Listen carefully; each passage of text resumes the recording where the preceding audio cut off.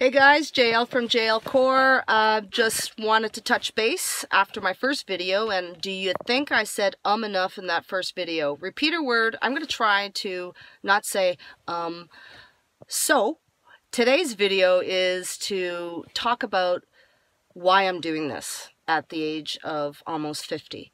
And the only thing I can say to that is I love challenges. I love to be inspired and even coaches need to be inspired and need to have challenges and um, it's such an amazing journey because I'm going to meet so many people along the way and I love to meet new people.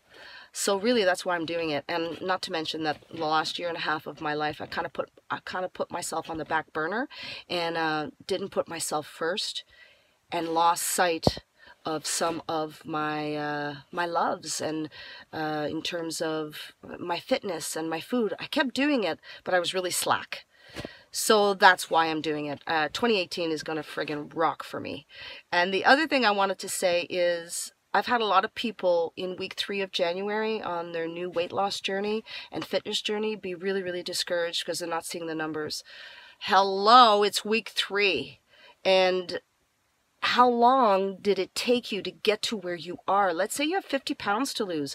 You're not going to lose it in three weeks. And I know you're getting on the scale and you're not asking to lose 50 pounds in three weeks, but you're wanting to see some change.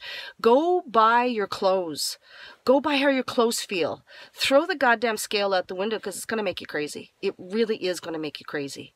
Um, go by, oh, there's, um, go by your clothes and stop beating yourself up. And first of all, congratulations for making the change and uh, stepping forward because the step forward to hire a trainer or find a gym is huge and very daunting for a lot of people. And like, you know they, they they don't feel comfortable in new places or doing new things and i'll tell you something that i know for sure is when there's something that you need to do learn or or, or take take into your hands and it's scary and you feel like you don't want to do it, I'm going to give you a hint. You should do it.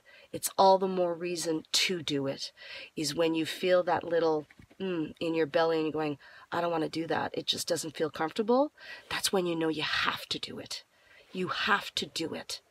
So that's my uh, experience at uh, the ripe old age at 49, soon to be 50. I know I keep on talking about that, but it is. It's, it's what it is.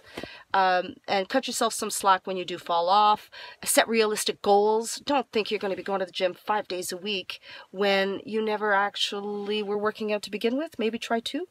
And I know it's easy for us to find gyms and find trainers, and not as easy to bring the cook into our house, but the food is primordial. If you don't get your food together, then that is going to be a huge fail at uh, your weight loss. So really take the time instead of going on Facebook when you're sitting on the computer, take the time to go in and find really good, healthy, protein packed recipes.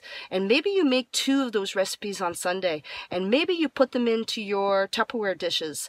And maybe that is going to be three days or maybe two days worth of food that's organized for you. How great would that feel on Sunday? There is a certain amount of organizing, no doubt about it. And I realize also that I'm lucky because I work from home but it's not something that is inconceivable to be able to do. Really and truly, it isn't.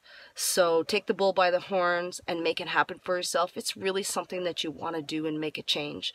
And know that it that it's a lifestyle change. There's no beginning. Well, there is a beginning if you started in January, but there's no end. This is this is forever and ever. Amen. So that's all I have to say for today and I will keep you guys updated and posted on my journey. And whenever I have awesome ideas in terms of food I'll post it like I said last time. Or even if it's as simple as finding an awesome lipstick I'm going to share that because I love to share things with my girls. I always come into the gym and say hey look what I bought and it's like I just love that. So um, take care and rock your day JL out